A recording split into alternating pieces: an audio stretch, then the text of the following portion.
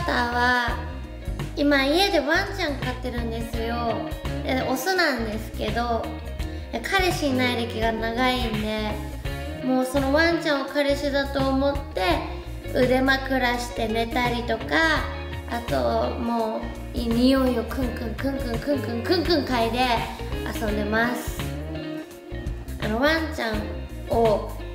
体を持って踊らせてその踊らせてる時に「ママ大好きママ大好き」って自分で言うっていうちょっと痛い遊びをやってます。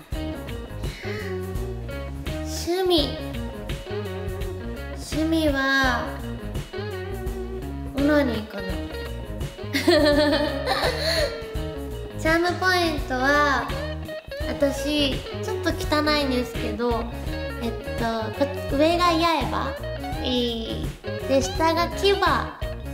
あるんですけど吸血鬼なんですよ。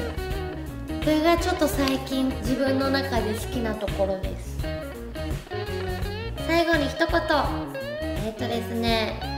あのこの VTR 中にあの口がパクパクパクパクパクパクパクパク動いてる時が多分あるんですけどそれは、ま音は使われないとは言われつつもちょっと暇でちょっとふざけてパクパクなんかこの白い液体をとか勝手に言ってるだけなので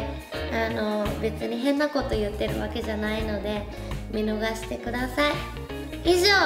意外と長くこの業界にいる吉川ちゃんでした。バイバイ。